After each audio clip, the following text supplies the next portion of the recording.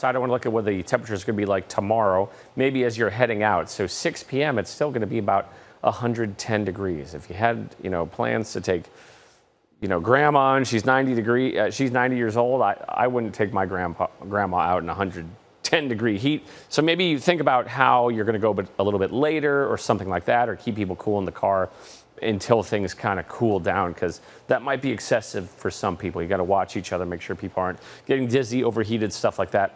106 right now in Phoenix, 105 at Luke, 103 in Glendale, 104 in Anthem. We're hanging out in the 80s in Flagstaff, 90s in Payson and Prescott, 112 at Lake Havasu City, and we still have hours of heating to go.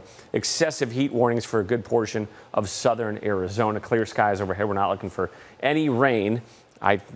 I definitely our Gilbert sensors off. 85 degrees. No, not really in Gilbert. It's uh, much hotter than that.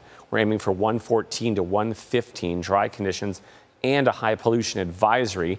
Not like you were going to go jogging this afternoon when it's 115, but not the best day to be working outside, uh, working out outside because of the heat and uh, the high pollution. So high pressure, it's not where we want for thunderstorms. I'd like to have this high pressure center right over the four corners, but it's a little to the southwest.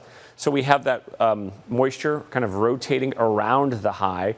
There's some action over here and then down by Texas and New Mexico, um, uh, Mexico. We're not going to see any storms.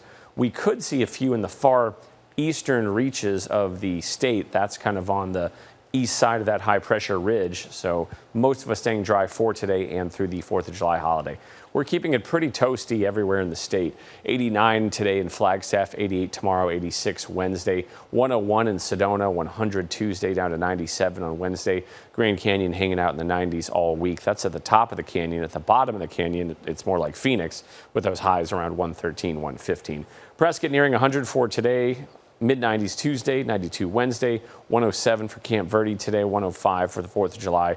Pinetop Lakeside, usually a great retreat from the heat. Well, 94 degrees on Tuesday. It is going to be toasty there.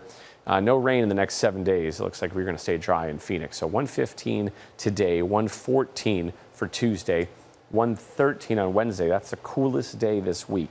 That's it.